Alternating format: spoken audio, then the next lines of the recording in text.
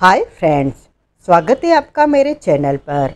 आज हम सुनेंगे सुरेंद्र मोहन पाठक द्वारा लिखा गया सुनील सीरीज़ का मज़ेदार उपन्यास, बक्षक का part two please like share subscribe my channel mister Sunil Kasniwal बोला, आप जर्नलिस्ट हैं, बड़े जर्नलिस्ट हैं सेलिब्रिटी मीडिया पर्सन हैं। आपको इस बाबत कुछ करना चाहिए क्या करना चाहिए? वहाँ क्या हो रहा है? अपने अखबार के ज़रिए उजागर करना चाहिए। आपको राठी की बेजा, वाहियात हरकतों को एक्सपोज करना चाहिए। उसकी हरकतों का कोई सबूत नहीं। वो नामो निहाद हरकतें बेजा है, वाहियात है। आपको कल पाने के लिए वाक़ होती है। इस बात का कोई सबूत नहीं। जनाब नंदन राठी नाम का आपका पड़ोसी, ब्लास्ट पर मानहानि का दावा ठोक देगा। He will sue us for legal लेकिन जब मैं कहता हूँ, हम आपका हवाला देंगे तो वो आप पर भी दावा ठोक देगा। वो हड़बड़ाया।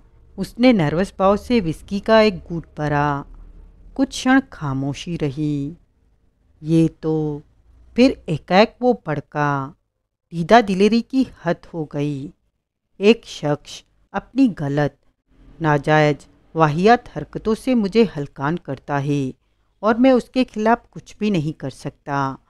उसने जानबूझकर ऐसे हालात पैदा किए हैं कि वो गए रात को रंबाए। मालकों, रमाकांत बोला, वो दिन में भी रंबाती होगी, लेकिन दिन में आपकी उसकी तरफ़ तवज्जो नहीं जाती होगी। जो पहले कभी नहीं रंबाती थी। ये बात अपने आप में सबूत है कि पड़ोस में जो कुछ हो रहा है, इरादतन हो रहा है, मैं उस शख्स को गिरफ़्तार करवाना चाहता हूँ। मानहानि के केस के साथ सुनील बोला, झूठी गिरफ्तारी की जुगलबंदी आग और घी जैसी होगी। झूठी गिरफ्तारी? आपके पुलिस में शिकायत दर्ज कराने पर वो गिरफ़्तार हुआ। और बाद में कंप्लेंट में दम न निकला तो ये झूठी गिरफ्तारी ही होगी। ओ, जिसका खामियाजा आपको भुगतना पड़ेगा। तो ये बात है। क्या बात है? ये उस शख्स की मेरे खिलाफ साजिश है। यूँ वो जानबूझकर मुझे थाने, कोर्ट कचहरी के लिए उकसा रहा है, ताकि मुझे मुँह की खाता देख सके, मेरी किरकिरी होती देखने का सुख पा सके। वो ऐसा क्यों चाहेगा? कोई तो वजह होगी ही। क्या नाम लीजिए किसी वजह का? उसने नाम न लिया। वो कुछ क्षण सोचता रहा और फिर चिंतित भाव से बोला, मैं अपनी पशेमानी को नज़रअंदाज कर भी दूँ। तो भी ये बातें किसी और के लिए भी तो परेशानी खड़ी करने वाली हैं। और किसके लिए? सुनील तनिक उत्सुक भाव से बोला, उसकी बीबी के लिए। उसके लिए किस लिए? वो बीमार है। ऐसी हालत में पड़े किसी शख्स को अपने सिर पर मौत मडराती लगे तो कैसा लगेगा? बीबी बीमार है? हाँ काफ़ी टाइम से बिस्तर के हवाले है। कैसे मालूम? दिखाई जो नहीं देती। हम्म अब फाइनली बताइए, आप क्या चाहते हैं? मैं चाहता हूँ कि उस कोठी में जो हलकान करने वाली बातें वाक़ हो रही हैं, वो बंद हो और ऐसा नंदन राठी के कानून की गिरफ्त में आए बिना नहीं हो सकता। आप उसे गिरफ़्तार कराना चाहते हैं? न्यूसेस रोकने का कोई और तरीका हो तो आप बताइए। गिरफ्तारी पुलिस का काम है। आपको पुलिस के पास जाना होगा और उसके खिलाफ रिपोर्ट दर्ज करानी होगी। पुलिस रमाकांत मुँह बिगाड़कर बोला ज़रूर ही इनकी वाहिद तबाही सुनेगी। सुन सकती है। पड़ोस की शांति भंग करने का मामला बनता है। इस बिना पर पुलिस इनकी सुन सकती है और पड़ोसी पर एक्शन ले सकती है। एक्शन नहीं ले सकती काका बली, पड़ताल कर सकती है और पड़ताल में उन्हें क्या मालूम होगा? ये क्या तू जानता नहीं? क्या मालूम होगा? रमाकांत ने कासनीवाल की तरफ़ देखा। और फिर कनपट्टी से एक उंगली लगाकर उसे दो तीन बार गोल घुमाया। मैं पागल नहीं हूँ, कासनीवाल गुस्से से बोला। मेरा दिमाग खराब नहीं है, ऐसा कहकर आप मेरी तोहिन कर रहे हैं। मैंने कब कहा? रमाकांत बोला। ऐसा सोचकर भी आप मेरी तोहिन कर रहे हैं। आपने मेरी ड्रिंक्स की कमज़ोरी को पकड़ लिया है और समझ लिया है कि नशे में होना और पागल होना एक ही बात होती है। May be drunk but not in sense there is a difference understand ओए, ये क्या कह रहे हैं? तुम्हारे से कह रहे हैं। सुनील बोला, जवाब दो। जवाब, सूझता तो तेरा मुँह ताकता। सुनील मुस्कुराया। मेरा गिलास भरा होता तो भी कोई बात थी। अब खाली गिलास से कोई स्मार्ट बात सूझे तो कैसे सूझे? मैं ड्रिंक्स मंगाता हूँ। कासनीवाल हड़बड़ाकर जल्दी से बोला, खुद कासनीवाल का गिलास खाली था। उसने अपने और रमाकांत के लिए विस्की का रिपीट ऑर्डर किया। सुनील के लिए अभी बोतल में पर्याप्त बियर थी। वेटर ऑर्डर सर कर गया तो कासनीवाल एकाएक उठ खड़ा हुआ। मैं अभी आया। वो अपनी कन की उंगली उठाकर दिखाता बोला। सुनील ने सहमति में सिर हिलाया। कासनीवाल हॉल में उस दरवाजे की तरफ़ बढ़ चला, जिसके पार क्लोक रूम था। वाह भाई, पीछे रमाकांत बोला, तेरे को सेलिब्रिटी कह रहा था। नहीं कहना चाहिए था, सुनील बोला, तू खुद सोच, क्या सोचूं? किसी ने कभी तुझे अपने खून में कलम डुबोकर खत लिखा? नहीं, किसी कर्मावली ने तेरे पर कभी ये इल्ज़ाम लगाया। कि तू उसके होने वाले बच्चे का बाप है? नहीं। या हो चुके बच्चे का बाप है? नहीं। कभी किसी ने तेरे पर स्टिंग ऑपरेशन किया? नहीं। कभी तेरी मॉब्ड सेक्स फ़ोटो छपी? नहीं। कभी ऐसा कोई वीडियो रिलीज़ हुआ? नहीं। काला हिरण मारा? नहीं। अपनी फैंसी मोटरसाइकिल से किसी को कुचला? नहीं। कभी तेरे घर पर कोई पौने छः करोड़ रुपए की बरामदी वाली सरकारी रेड हुई। नहीं, कभी तेरे पास से ए के फोर्टी सेवन बरामद हुई। नहीं, फिर तू काहे का सेलिब्रिटी है भाई? नहीं हूँ तो फिर? नहीं हूँ तो फिर? फिर ये कि जो बात अभी मैं तुम्हारे समझाए समझ गया हूँ, वो लौट के आए तो उसे भी समझाना। मैंने क्या समझाना है कमलया? वो कभी होश में इस बाबत सोचेगा तो खुद ही समझ जाएगा। अब संजीदगी से एक बात का जवाब दो। पूछ है वो पागल हो सकता है उसका दिमागी तवाजन खराब हो? मेरे को तो वो बराबर लगता है लेकिन मेरी तो। वो ये कहकर बोलती बंद कर गया कि पागल होने में और टुन होने में फ़र्क होता है। हम्म, जिसकी माइयाँ अक्ल ठिकाने हो वो ऐसी बातें करता है कि गाय के रंबाने की वजह से परेशानी होती है। पड़ोस उसे मरगट लगता है। वहाँ उसे मौत मडराती जान पड़ती है। सुनील ने इनकार में सिर हिलाया। असल बात बस इतनी जान पड़ती है कि बेताशा पीता है और जब चढ़ जाती है तो उसका तस्वर अनोखी उड़ाने बढ़ने लगता है। अभी तो यही शुक्र समझ कि गाय के रंबाने की ही शिकायत कर रहा है। ये नहीं कहता कि रात को पड़ोस में परियाँ नाचती हैं और वो भी खास उसे हलकान करने के लिए। गाय रात को क्यों रंभाती है? मेरा दावा है कि दिन में भी रंभाती होगी, हर घड़ी रंभाती होगी। क्यों? किसी भी वजह से, अहमियत वजह की नहीं है, एक्ट की है, गाय रंभाती है। रात के सन्नाटे में उसकी तवज्जो उसके रंबाने की तरफ़ जाती है। और वो कूदकर इस नतीजे पर पहुँच जाता है कि पड़ोसी उसे दिन में भूखा रखता है और इसलिए वो रात को खास उसे हलकान करने के लिए रंबाती है। हम्म अभी ये यहाँ मौजूद है। इसे क्या मालूम, गाय पीछे रंबा रही है या नहीं? ठीक। अब अपना ख्याल भी तो बता, उस पर भी तो चानन डाल। तू क्या कहता है, बंदे की बालकनी में नुक्स है या नहीं? हड़का हुआ तो वो बराबर है, पशेमान भी बराबर है। और यही वजह उसकी एक्सटेटिव ड्रिंकिंग की जान पड़ती है। लेकिन पागल वो मुझे नहीं लगता। देखा नहीं था कैसे उसने अपने पागलपन की तरफ़ इशारा पकड़ा और उस पर रिएक्ट करके दिखाया। जो शख्स हमें ये समझा सकता है कि इनसैनिटी और ड्रंकनेस में फ़र्क होता है, वो पागल क्यों कर होगा?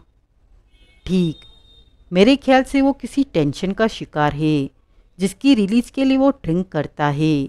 लेकिन टेंशन तो रिलीज़ होती नहीं, नशे में काल्पनिक शक्ति प्रबल हो जाती है। यानी कि गाय उसकी कल्पना में रंबाती है। अब क्या कहूँ वही कहता है कि गाय रंबाती है। पता नहीं सच में रंबाती है या नहीं, वो तो और भी बहुत कुछ कहता है। अगर कोई और बात उसका वहम हो सकती है। तो ये गाय के रंबाने वाली बात भी उसका वहम हो सकती है। यही बात है। अब तू क्या करेगा? उसे पुलिस के पास जाने की राय दूँगा।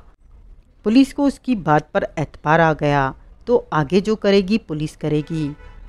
मुझे मालूम है पुलिस क्या करेगी। क्या करेगी? उसका सॉन्ग एंड डांस ड्रामा सुनकर उसे पागल करार देगी और या तो किसी दिमागी बीमारियों के डॉक्टर के पास जाने की राय देगी, या खुद ही पागल खाने में भर्ती करा देगी। ऐसा न हो। इसका एक तरीका मेरे जहन में है। क्या? ये कि ये किसी दाना, आला दिमाग, तजुर्बेकार, सख्त मिजाज पुलिस अधिकारी के पल्ले में न पड़े। ऐसा कैसे होगा? नाटशोर पुलिस चौकी का इंचार्ज, पहले सब इंस्पेक्टर अनिल कपूर था। अगर वो अभी भी वहीं तैनात हुआ तो मुझे उम्मीद नहीं कि पुलिस की हाजिरी बढ़ने से हमारे मेज़बान के साथ कोई बड़ा हादसा होगा, बल्कि मैं खुद सुनिश्चित करता हूँ कि ऐसा हादसा न हो। क्या करेगा? पहले तो यही मालूम करता हूँ कि अनिल कपूर अभी भी नार्थ शोर चौकी का ही इंचार्ज है या नहीं, हुआ तो उससे बात करता हूँ। कर, सुनील ने मोबाइल के लिए जेब में हाथ डाला तो उसके चेहरे पर वितृष्णा के भाव आए। की होया? रमाकांत बोला। मोबाइल। सुनील ने उत्तर दिया। लगता है ऑफ़िस में रह गया। दूर फिटे मुँह। कभी कहीं रह जाता है। तो कभी तू उसे चार्ज करना भूल जाता है। तेरे जैसे आदमी के पास तो मोबाइल होना ही नहीं चाहिए। न होने जैसा ही है। तुम्हारा मोबाइल कहाँ है? ऊपर बेडरूम में। मैं क्लब में होता हूँ तो मोबाइल पास में नहीं रखता।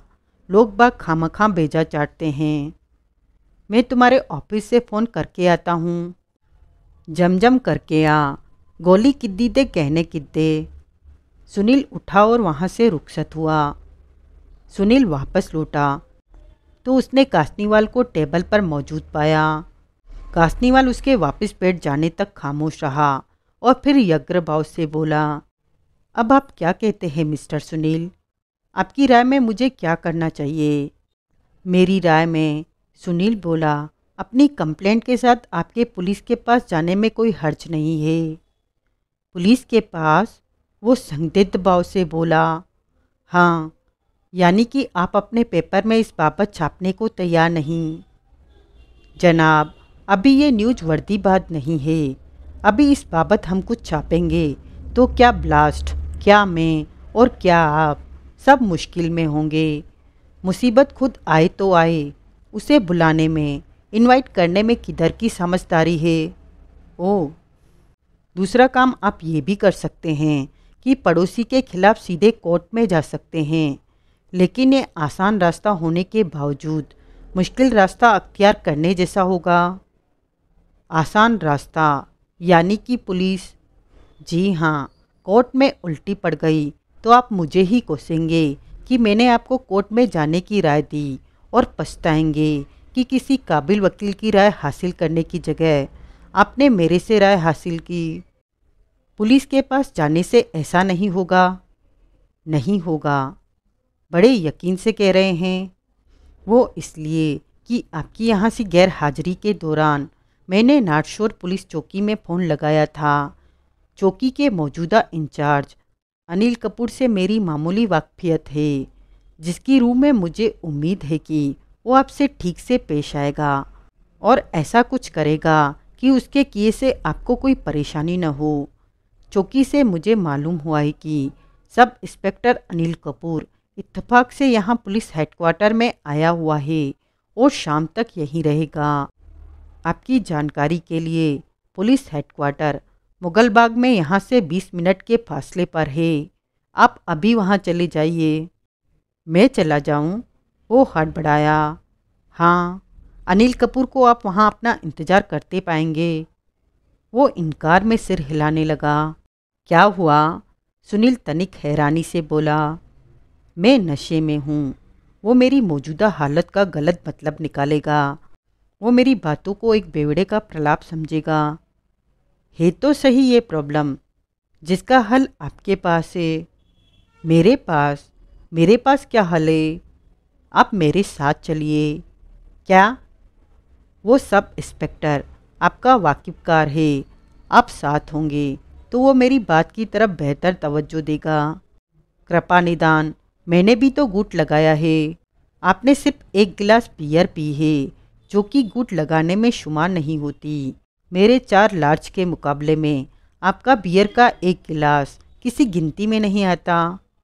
लेकिन मिस्टर सुनील, प्लीज़, उंगली पकड़कर रमाकांत बोला, पोचा पकड़ने वाली बात कर रहे हो मालको।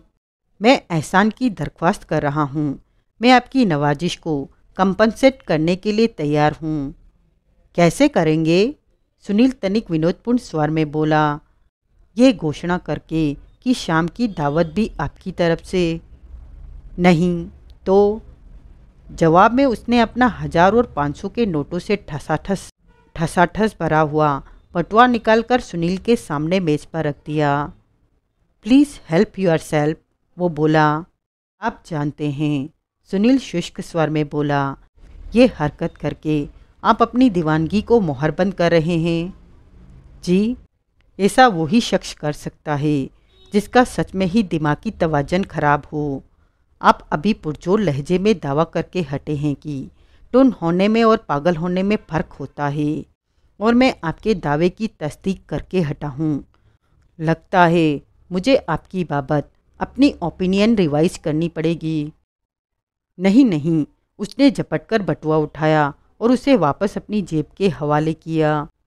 I am sorry, I am really sorry. पागल माइयावा रमाकांत बुनबुनाया कौन? सुनील बोला, ये, तू, भूतनीदा खोटी अकल नगदों की कद्र करना नहीं जानता। ओके। सुनील यूँ बोला, जिसे रमाकांत के विरोध में वो बात कह रहा हो, मैं आपके साथ चलने को तैयार हूँ। थैंक यू सर कासनीवाल उछलकर खड़ा हुआ और हर्षित भाव से बोला and God bless you sir जा रहा है? रमाकांत बोला हाँ। सुनील बोला, यानी कि बाँह छुड़ाए जाते यही समझ लो। जानता है, इसे जज्बाती ज़ुबान में क्या कहते हैं? क्या कहते हैं? लाई बेकदरा नाल यारी ते टूट गई तड़ाक करके। मैं हमेशा के लिए नहीं जा रहा। यानी कि लौट के आएगा। हाँ फिर तो जुंदा रहा पुत्रा, जवानियाँ माने। सुनील और कासनीवाल पुलिस हेडक्वार्टर पहुँचे। रिसेप्शन से दरफियात करने पर उन्हें मालूम हुआ कि sub inspector Anil Kapoor ground floor में ही एक कमरे में मौजूद था। वे उस कमरे में पहुँचे तो उन्होंने उसे एक ऑफ़िस टेबल के पीछे एक कुर्सी पर बैठे पाया। हेलो, सुनील मुस्कुराता हुआ बोला। मैं, तुम मत बताना, अनिल ने उसकी बात काटी। मैं खुद गैस करूँगा। अच्छा। हाँ तुम्हारा नाम सुनील है। तुम आदमी हो, शंकर रोड पर रहते हो, अकाउंटेंट की सरकारी नौकरी करते हो और हमारी पहली मुलाकात कुछ अरसा पहले यहीं हुई थी। ठीक? नहीं ठीक। कुछ ठीक। सब गलत। ये भी कि तुम आदमी हो। ओ ये बात है। क्या बात है? जोक मारा दरोगा जी ने। वो हंसा। नहीं फिर बोला, मैं कोई जोकिस्तान से आया हूँ, जो जोक मारूँगा। ठीक अब बोलो क्या चाहते हो? बल्कि पहले बैठो, तशरीफ़ रखो। दोनों उसके सामने पड़ी दो विजिटर्स चेयर पर बैठ गए। ये मिस्टर चिराग कासनीवाल है, सुनील बोला। नाट शोर में रहते हैं, जहाँ के कि तुम चौकी इंचार्ज हो, और जो चाहते हैं, ये चाहते हैं। क्या? ये नाट शोर की तियालीस नंबर की कोठी में रहते हैं। इनके पड़ोस में, बयालीस नंबर कोठी में, नंदन राठी नाम का एक शख्स रहता है, जिससे ये तंग है। क्यों तंग है?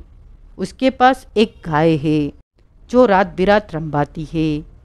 बस यही तंगी है। और भी बात है, लेकिन अहम बात यही है। अजीब ऐतराज है। गाय रंबाएगी नहीं तो क्या गाना गाएगी? आप समझने की कोशिश कीजिए।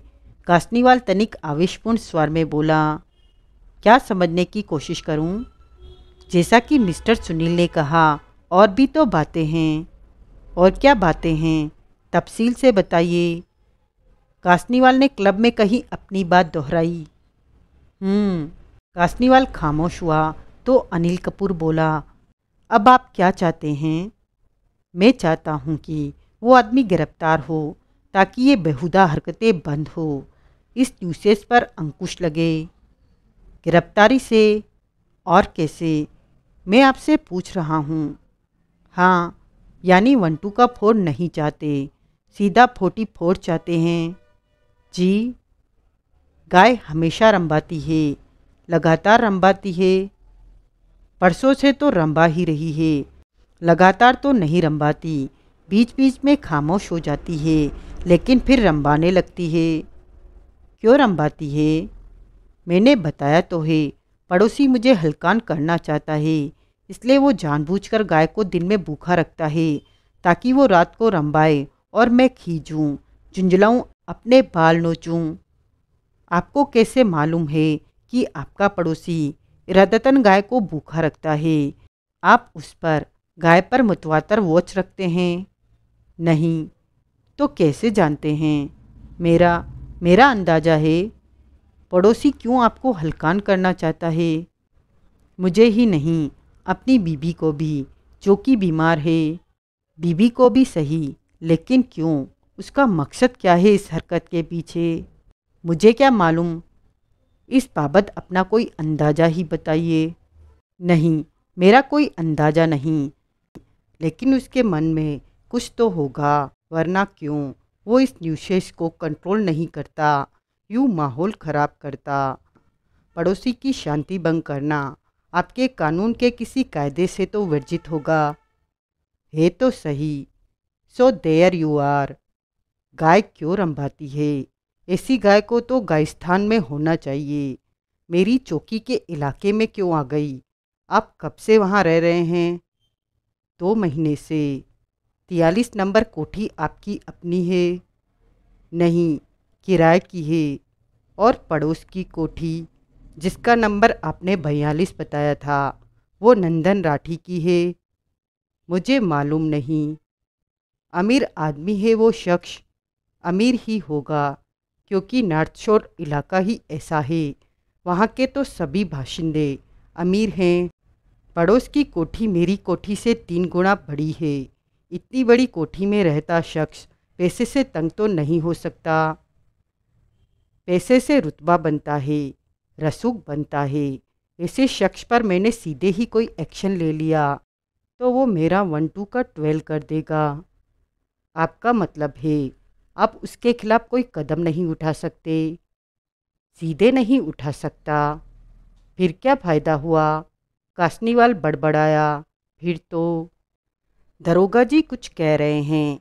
सुनील बोला, उनकी बात खत्म नहीं हुई। कासनीवाल खामोश हो गया। पहले तफ्तीश करनी होगी। अनिल कपूर आगे बढ़ा, फिर उसे मौखिक चेतावनी देनी होगी। कोई फ़ायदा नहीं होगा। कासनीवाल असंतोष के स्वर में बोला, चेतावनियों से चेतने वाला शख्स वो नहीं है। गाय के रंबाने की वजह कोई भी हो, सुनील बोला मेरे ख्याल से अगर पड़ोसी को हलकान करती है तो गाय के मालिक को मजबूर किया जा सकता है कि वो गाय का रंबाना बंद कराए। गाय का रंबाना जारी रहने से कासनीवाल साहब गंभीर नर्वस ब्रेकडाउन के शिकार हो सकते हैं। इतना शायद न हो, कासनीवाल खंखार कर गला साफ़ करता बोला, लेकिन आजिज तो मैं बराबर हूँ। मेरी लिमिटेशन से अनिल कपूर बोला, जिनकी रूह में मैं दस्तूर में ही कदम उठा सकता हूँ मेरे लिए ये सावधानी बरतना ज़रूरी है कि जाने अनजाने में किसी रुतबे वाले शख्स को, किसी बड़ी हैसियत वाले शख्स को अपना इनिमा न बना बैठूं? क्या सुनील के मुँह से निकला, भाई, एनिमा, दुश्मन, शत्रु, ओ, एनिमी, वो छोटा सा मामूली शत्रु होता है, बड़ा शत्रु एनिमा होता है, सॉरी ये फ़र्क मुझे नहीं मालूम था। कोई बात नहीं, मैं चौकी से किसी को भेजूँगा, जो इस चंदन राठी से बात करेगा। नंदन, कासनीवाल बोला, नंदन राठी।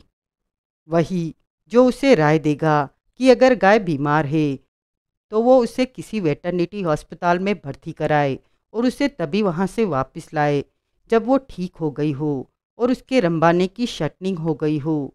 ठीक है? कासनीवाल ने अनिश्चित भाव से सिर हिलाया।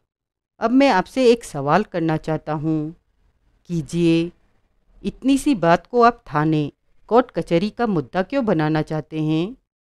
क्या मतलब? इस बाबत पड़ोसी से सीधे बात करने में क्या प्रॉब्लम है? नहीं, मैं उसके मुँह नहीं लगना चाहता, क्योंकि आपके उससे अच्छे संबंध नहीं है। कोई डिस्ट्रीब्यूट है? जी, अदावत है। अनबन है।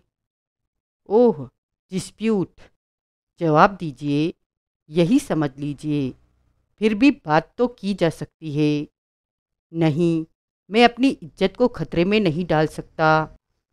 इतनी सी बात पर वो आपको बेइज्जत कर सकता है। वो कुछ भी कर सकता है। मैं उसके मुँह लगना अफोर्ड नहीं कर सकता। मुँह न लगिए। फ़ोन पर बात कर लीजिए। नो। चिट्ठी लिख दीजिए। माय डियर सर, आप मेरे पड़ोसी को नहीं जानते। वो मुझे अपनी कोठी से धकिया देगा, फ़ोन पटक देगा, चिट्ठी फाड़ के फेंक देगा और फिर ऐसा इंतज़ाम करेगा कि गाय पहले से ज़्यादा और ज़्यादा रंबाए वो मेरी लाचारी पर खुश होगा और अपनी बीबी को बताएगा कि कैसे कासनीवाल खामोश हो गया। क्या कैसे? अनिल कपूर बोला अपनी बात मुकम्मल कीजिए।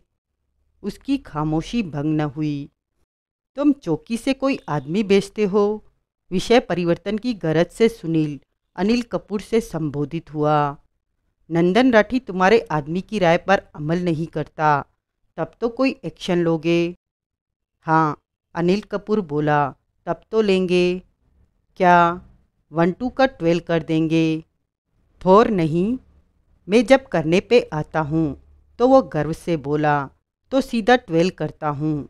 ट्वेल्व, वन, टू आजू बाजू बढ़िया, अब ज़रा लोकल ज़ुबान में समझाओ, क्या करोगे?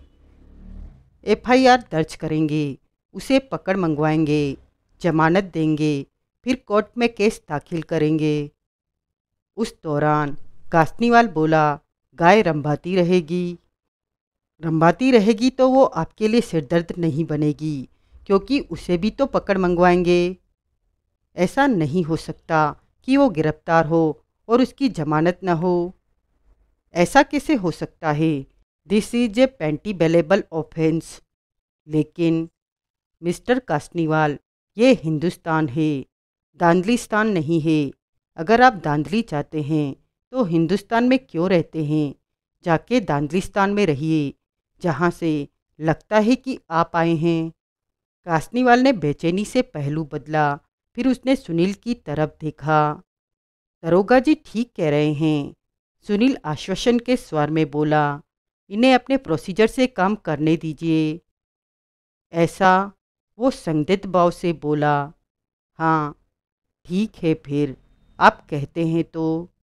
मैं कहता हूँ, ठीक है, मीटिंग समाप्त हो गई। अगले रोज मंगलवार को सुनील ब्लास्ट के ऑफ़िस में अपने कैबिन में मौजूद था, जबकि रमाकांत के वहाँ कदम पड़े। सुनील की निगाह अनायासी वॉल क्लॉक की तरफ़ उठ गई। पौने बारह बजे थे। नमस्ते, वो बोला। नमस्ते, रमाकांत बुनबुनाया। ये नमस्ते की है या ईट मारी है? नमस्ते की है। नमस्ते ऐसे होती है? और कैसे होती है? खड़ा होके सिर नवा के हाथ जोड़ के और कह हम घर साजन आए सुनील हंसा, हंसियाई कंजर, बैठो रमाकांत एक विजिटर चेयर्स पर ढेर हुआ और अपना चार मीनार का पैकेट निकालकर एक सिगरेट सुलगाने में मकशूल हो गया। क्या हुआ सुनील तनिक विनोदपूर्ण स्वर में बोला, नींद आई ही नहीं या जल्दी खुल गई। माइयावा चुलाए दिया मस्करिया माँ बेनाल कैसे आए? तेरी एक चिट्ठी आई है मेरी चिट्ठी। कहाँ? यूथ क्लब में, मार्फत यूथ क्लब। भेजने वाला कौन है? सोच, कासनीवाल। वही, रमाकांत ने उसके सामने पाँच गुड़ा सात का एक मज़बूत पीला लिफाफा रखा। कुरियर से आई है, ऊपर। वेरी अर्जेंट डिलीवरी लिखा है। अब खोल इसे। और बता क्या लिखा है। मैं सस्पेंस में मरा जा रहा हूँ। इसलिए नींद हराम की। हाँ खुद आने की जहमत क्योंकि मुझे बुला लिया होता। तू पता नहीं कब आता। चिट्ठी खुद खोल ली होती। ओए कमलिया, तेरी चिट्ठी में कैसे खोल लेता? वो भी सुबह के वक्त, जबकि मैं नशे में भी नहीं होता। सुनील ने लिफाफा खोला। भीतर तीन आइटम थी। एक वसीयत, एक उसके नाम कासनीवाल की चिट्ठी, तीसरी आइटम हैरान करने वाली थी। वो हज़ार हज़ार के नोटों की सूरत में पचास हज़ार रुपये थे। सुनील ने तीनों चीज़ें रमाकांत को दिखाई। पहले चिट्ठी पढ़, वो बोला, सुनील ने बोल बोल कर चिट्ठी पढ़ी, लिखा था, डियर मिस्टर चक्रवर्ती, इस पत्र के साथ पचास हज़ार और मेरी वसीयत संकलन है। वसीयत मैंने आदि से अंत तक खुद लिखी है और आपकी राय के मुताबिक यूँ लिखी गई वसीयत पर गवाही की ज़रूरत नहीं होती। फिर भी मैं चाहता हूँ कि एक गवाही इस पर आप कर दें और दूसरी मिस्टर रमाकांत से करा दें। आपसे दरख्वास्त की वजह यह है कि मैं इस शहर में अजनबी हूँ और आप दोनों के सिवाय यहाँ किसी को नहीं जानता। साथ में पचास हज़ार रुपये इसलिए हैं। जब वसीयत को प्रोबेट के लिए कोर्ट में पेश करने का वक्त आए तो आप कोई काबिल वकील, आप कोई काबिल वकील, वसीयत में दर्ज, बेनिफिशियरी, वारिस के हक में खड़ा कर सके। संभव है सगलन रकम काबिल वकील की फ़ीस कवर करने के लिए काफ़ी न हो। इस संदर्भ में वसीयत में प्रावधान है कि वकील की बाकी फ़ीस मेरी चल अचल संपत्ति में से अदा की जाए। वसीयत में मेरा एक ही वारिस दर्ज है। जो कि वकील की अतिरिक्त फ़ीस काटकर मेरी तमाम की तमाम चल और अचल संपत्ति का स्वामी होगा। दूसरे, अब मुझे मालूम है कि गाय क्यों रंबाती है। सद धन्यवाद विनीत, चिराग कासनीवाल, सुनील ने चिट्ठी मेज पर डाल दी। वसीयत भी पढ़। रमाकांत, मंत्रमुग्ध भाव से बोला। सुनील ने चिट्ठी की तरह वसीयत को भी बोल बोल के पढ़ा। वसीयत में उसने मिसेज नंदन राठी को अपना इकलौता वारिस करार दिया था। प्यारियो, रमाकांत बोला, अब मुझे इस बात में कोई शक नहीं रहा कि वो आदमी पागल है, दीवाना है, सिर्फ़ है और और वो सब भी है, जो वो लोग होते हैं, जिनकी अक्ल घास चढ़ने चली गई होती है। वो कैसे? पूछता है वो कैसे? तुझे नहीं दिख रहा, वो कैसे? एक तो वसीयत में घेर की बीबी को अपना वारिस बना दिया और दूसरे वसीयत तुझे भेजने के साथ में पचास हज़ार रुपये नत्थी कर दिए। अब तू वसीयत को फाड़ के कूड़े में फेंक दे और रकम अपनी जेब में रख ले तो वो आकर तुझे ऐसा करने से रोक लेगा। नहीं, लेकिन उसे मालूम है कि ऐसा होने की नौबत नहीं आएगी। क्यों नहीं आएगी? क्योंकि उसे मेरे पर एतबार है। क्यों एतबार है? तूने उसे अपने एतबारी होने की कोई सरकारी सनद दिखाई? उसका सुपीरियर जजमेंट ये कहता है कि मैं काबिल एतबार शख्स हूँ और तुमसे बेहतर कौन जानता है कि उसका जजमेंट कितना चौकस और दुरुस्त है? अब जरा सोचो, जो शख्स एक चौकस और दुरुस्त फैसला कर पाने की कैफियत रखता है, वो पागल, दीवाना सिरफरा वगैरह क्यों कर हो सकता है? ओए माँ सदके कई बातें थ्योरी में ही ठीक होती है। प्रैक्टिस में ठीक नहीं होती। अब छोड़ो वो किस्सा, वो पागल है या नहीं, ये आने वाला वक्त बहुत जल्द स्थापित कर देगा। इस वक्त काबिल गौर बात कोई और है। क्या शनिवार को जब उसने वसीयत का ज़िक्र किया था तो उसने मिसेज नंदन राठी को अपना वारिस बनाने की मंशा ज़ाहिर की थी और ख़ास तौर से पूछा था कि बाद में अगर मालूम पड़ता है कि जिस औरत को मिसेज नंदन राठी बताया जाता था, वो हकीकत में राठी की बीबी नहीं थी तो इस बात का उसकी वसीयत पर क्या असर पड़ेगा? वसीयत की बेनिफिशरी मिसेज नंदन राठी की ब्याता बीबी नहीं निकलती तो क्या होगा? याद आया? हाँ लेकिन जब वो औरत इज्जतदार लोगों के इलाके में एक इज्जतदार शख्स की बीबी बनकर रह रही है तो वो क्यों उसकी बीबी नहीं होगी? वो जुदा मसला है। किसी औरत के किसी मर्द के साथ रहने, होने से ये स्थापित नहीं हो जाता कि वो उस मर्द की बीबी है। न सही प्यारियों, लेकिन ऐसा होने की कोई वजह भी तो होनी चाहिए। होगी होगी कोई वजह? क्या? कोई भी। दर्जनों वजह मुमकिन है। मसलन मॉडर्न ज़माना है, जिनमें लिव इन माशुक का रिवाज है।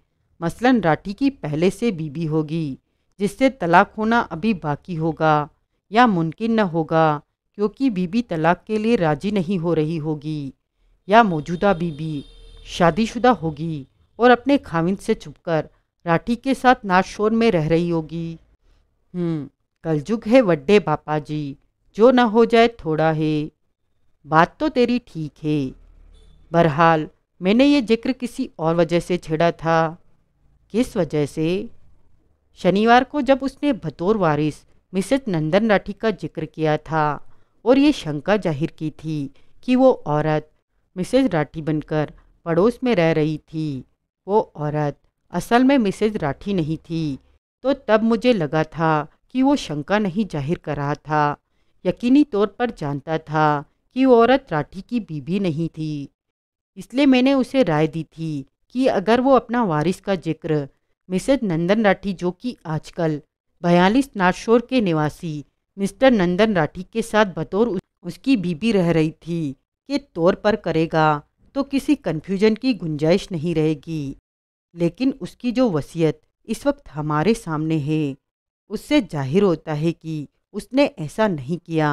उसने अपने वारिस को नंदन राठी के साथ बतौर उसकी बीबी रह रही औरत नहीं लिखा। बयालीस नाट शोर वासी नंदन राठी की विधिवत ब्याहता बीबी लिखा है और पते का ज़िक्र राठी के घर के तौर पर किया है। बीबी के घर के तौर पर नहीं। दोनों बातों में फ़र्क है। ज़मीन आसमान का फ़र्क है। वसीयत के लागू होने का वक्त आने पर अगर ये बात उजागर होती है कि वो औरत जो बयालीस नाशोर के पते पर नंदन राठी के साथ रह रही है हकीकतन में उसकी बीबी नहीं है।